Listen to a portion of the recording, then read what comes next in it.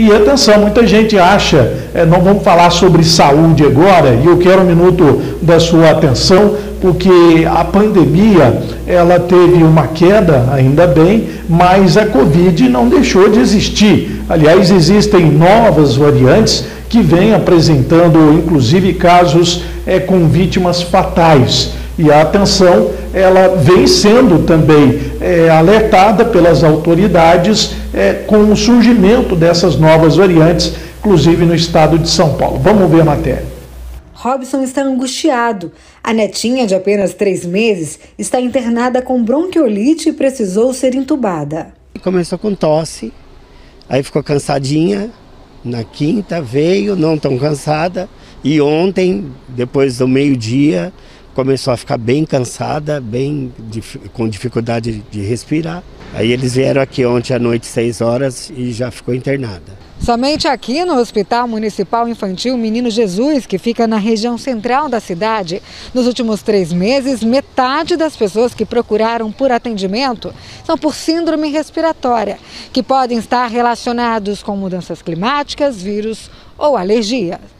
Nove crianças estão na UTI do hospital por causa da bronquiolite. Desses casos, quatro foram causados pelo vírus sincicial respiratório. É um vírus bem conhecido da pediatria, não é nenhum vírus novo, ele já é um vírus que normalmente acomete mais o período de março, abril, mas infelizmente esse ano, assim como a gente viu também um pouco ano passado, ele está atípico em fora de época e ele está causando bastante quadros respiratórios nas crianças. Além disso, os dados da plataforma Infotracker apontam um crescimento no número de testes de farmácia que deram positivo para a Covid. A taxa de positivos passou de 6% na primeira semana de outubro para 15% na última semana.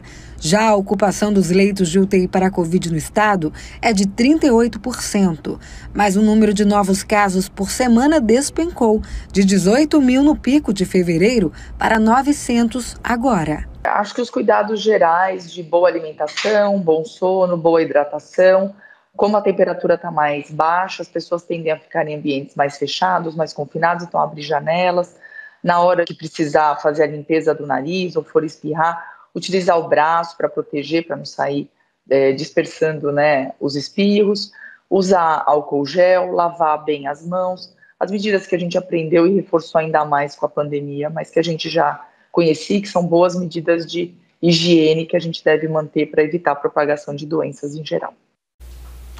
Pois é, aquilo que eu tenho sempre dito, né? Mesmo durante a pandemia, a gente falava que o uso do álcool gel, lavar as mãos. Ontem nós falamos da conjuntivite, né, Killer? É, então, quer dizer, você, quando você tem uma higiene, né, você protege as mãos, você tem aí, é claro, uma uma, uma chance menor de ser contaminado. Inclusive, é claro que é, é algo que preocupa, que nós vamos e já estamos né, nos aprendendo a conviver com essas variantes da Covid, mas é claro que a doença não deixou de existir.